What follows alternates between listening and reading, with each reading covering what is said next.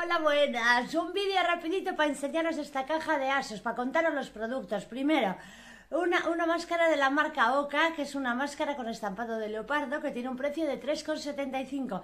Esta es una máscara esfoliante para pieles propensas al acné, que elimina las células muertas y esfolia. Siguiente producto de la marca Airbrust, el elixir capilar de 60 mililitros con un precio de 14,10 y es un spray que reduce la caída del cabello y da volumen. Es sin parabenos.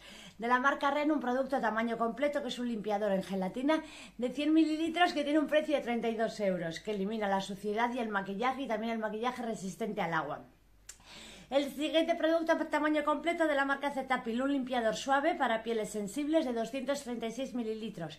Tiene un precio de 13,95 y es un limpiador que limpia suavemente la piel sin dañarla. Y de nuestra amiga Charlotte, el último producto, una crema para el contorno de ojos de 5,15. Espero que estéis muy bien, que disfrutéis mucho del día y ya el link abajo. ¡Mmm!